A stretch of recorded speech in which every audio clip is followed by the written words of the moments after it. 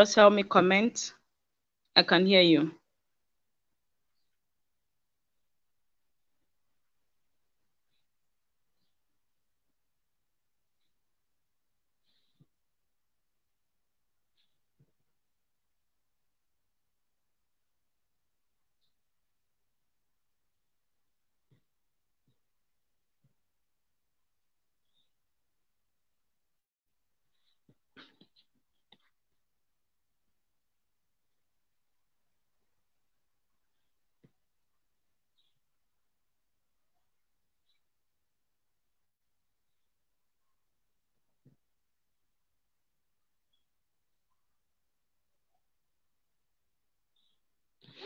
Hello, everyone. I'm so delighted to be with you this great afternoon. Um, I hope that you're doing well today. You've had the rest. Yesterday was May 1st, Workers' Day. And I hope that as a worker, um, even a stay at home mom or a stay at home dad, you had the opportunity to rest yesterday. It's been a trying time for us in our nation, Nigeria but the Lord has continued to keep us as a people. And I'm excited because I know that God has plans, more plans, good plans for this nation and for you and your family. So today I said that I was going to begin to share my journey from salvation to deep encounters I've experienced over the years with the Lord. And it's been exactly 25 years since I gave my life to Christ as a teenager, coming back home from school and from boarding house, and I got um, saved. Um, but today, I um, like us to look at. I would like to share my story with you um, about what happened to me. Um, the story, what happened in my life between um, when I was born and when um, I got saved. So, what does life before salvation really look um, look like? How, what did it look like? What were my experiences? Um, what what are the lessons that I I derived from growing up that could really help someone today? And God put this body in my heart to begin to share uh, my story um, from salvation to deep encounters. Why? Because that He wants to use it to transform the lives of other people. I really trust that through everything that I share, backed up by the power of the Holy Ghost, your very life is going to be transformed in the name of Jesus. Every Tuesday, we are going to come connect online by 12 noon to experience this defining moment in our lives. So, um, I was born a few, just a few years ago, and I was born to uh, my parents they had a very difficult and trying um, uh, marriage, and at, at the time, um, before even before I was ten years old, um, I think when I was seven, um, because of the things that gone on, my mom felt like she had had enough, and she decided to leave. And then we were meant to grow up for a while with our grandparents. But while growing up, even with our parents, I remember vividly that night where um, we were sleeping in our room and my dad had not was not around. He had traveled, and then we didn't know how it happened, but the whole building came collapse, you know, on us. The whole building collapsed, you know, fell upon us, and to the glory of God, none of us, you know, got injured. We didn't I don't think we had a scratch. We didn't have to go to the hospital. The fan, you know, was on.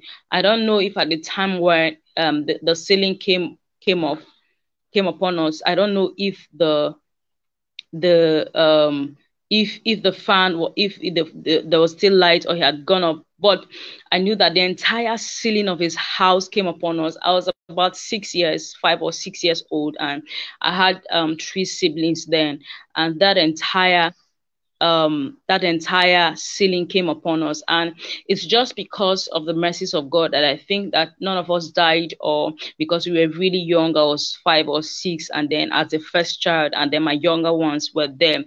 And th- those are all parts of the things that, you know, the challenges, the way that the enemy saw, um, saw, saw that God had a plan for my life, had a plan for my general and he just wanted to see that this plan didn't you know was not fulfilled. And i think about the times where you know my parents you know had challenges problems quarrels here and there. And I, I, I became a child in primary school who literally was suffering from hypertension you know my mom had to take me to the hospital a lot of times because i had high bp as a child in primary school. And so uh, growing up was really really challenging you know growing up was really really challenging challenging. You know, at the time when my mom left in 1993, you know, um, because she had had enough, we were dropped with our grandparents. We grew up there. Um, thank God, my grandparents, you know, they played their part in our lives. And then in 1996, I had to go to secondary school and one thing my mom did for me was that um, through the struggles, financial struggles, and everything she was going through, she ensured that at the time I went to the best um, school, and and, and I, I went to the um, to a boarding house and one of the best schools in the state at the time. And she paid the price. She did all she could do for me to get there, and I'm so grateful that um, she um, sowed that seed that in the midst of her pain and in the midst of the trials she was going through, she saw my education as very key, you know, as very defining, as though she had a picture of the future that God has shown her in her heart. I remember those days as a child where uh, there was there would be a crisis in the home, and all my mom could do was to cry, you know, at night while praying. And I remember her uh, call, waking me up by 12 midnight a few times as a child who was about four or five years old and and and, and reading the psalms with me and asking me to pray you know and, and, that is how defining a life of prayer could be my mom could not have understood so many things but one thing she understood was that she had a god that she could call upon. You know, so one of the things I have learned from my years as a child growing up is just the efficacy of what prayers can do, even a life that's even to a life that seems shattered and battered. And so every seed that will sow in the life of our children today cannot and will not go to waste at the time i didn't really know what church was.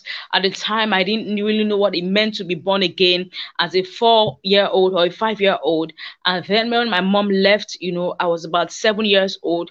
Um the first child and had three other you know people after me other siblings after me.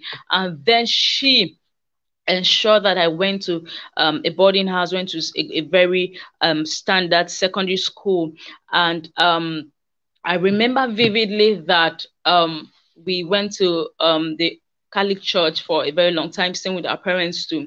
And one of the key things for me here is that God found me early. God found me early the truth is that I come from a generation of people, of godless people. I come from a generation of people who do not know the Lord, who did not know the Lord at the time, even though so many of them, to the glory of God, are beginning to know the Lord.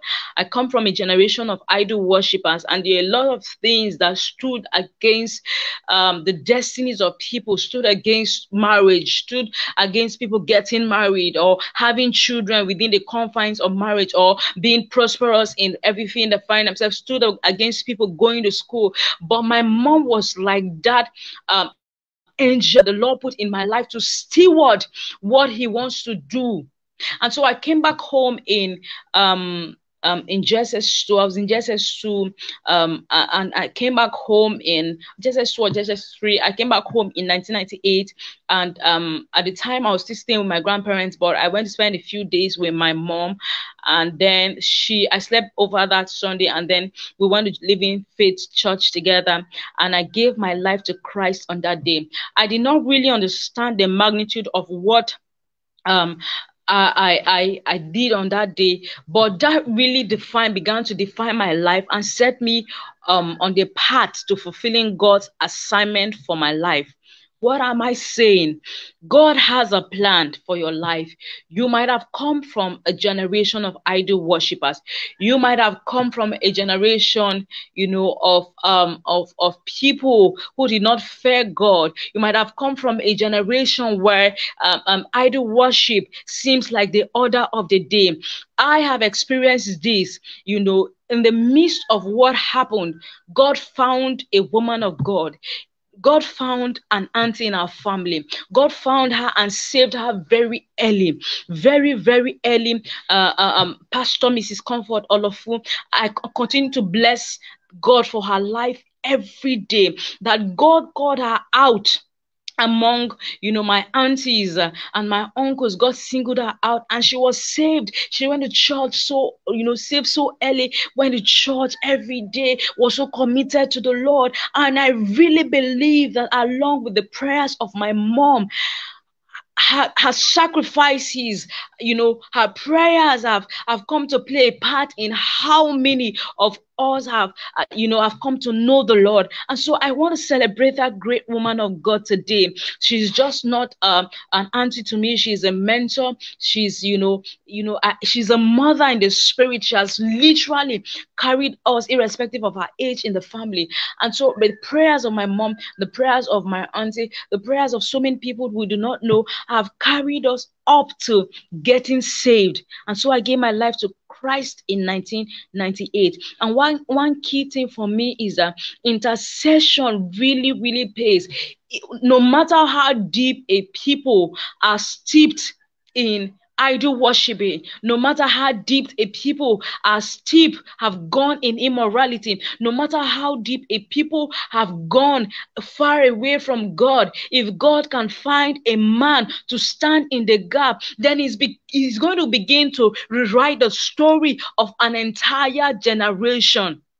That's what the Lord is going to do when He finds a man who stands in the gap. You know, that was what happened with Abraham. These were people who were, you know, sin so much against the Lord. Their sin was abominable. But Abraham continued to say the Lord to the Lord, if you find 10, will you will, will you will you will you still will you save this land?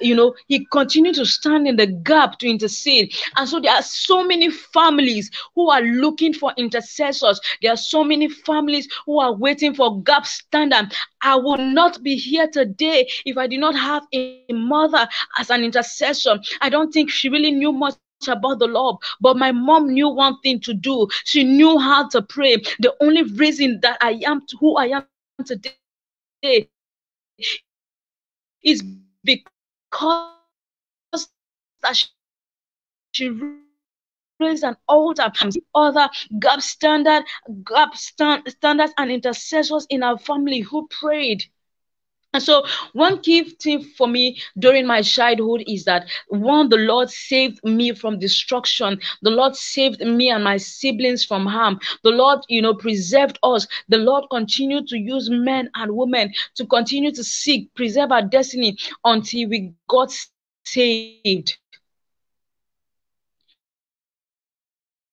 And so I want you to, to as a brother, what could you be doing today that could change an entire generation, that could rewrite the story of an entire generation?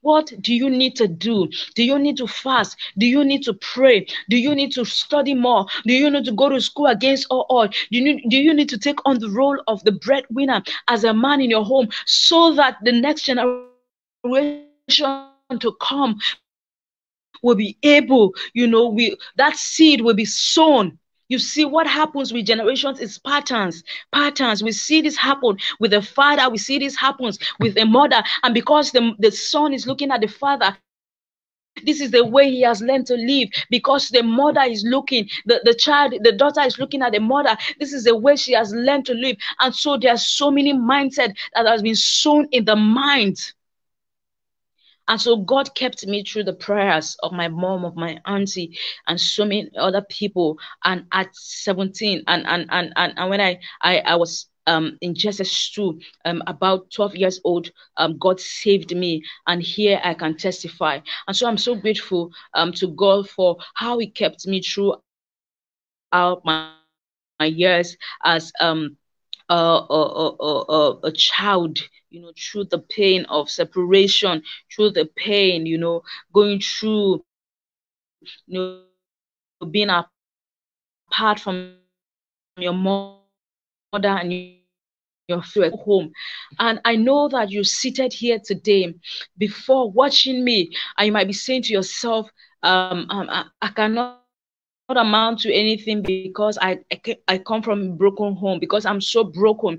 But you see that the Lord can really help you um, um, go go through the season of your life that irrespective of your pain the lord can use it to use it to build your purpose. And so my greatest purpose has come from a place of pain from a place of rejection from a place of where i'm seeking love before god. And i'm so grateful to the lord that i am saved today. I'm so grateful to the lord that he carried me from childhood unto salvation. I thank you so much for listening today. Next week i'm going to be sharing my story I really want to make this video short. I'm going to be sharing my story from when the Lord saved me, what began to happen, how did I even, how was I even able to grow as a Christian and to navigate through the trials and temptation. I'm going to be sharing all that um, next week.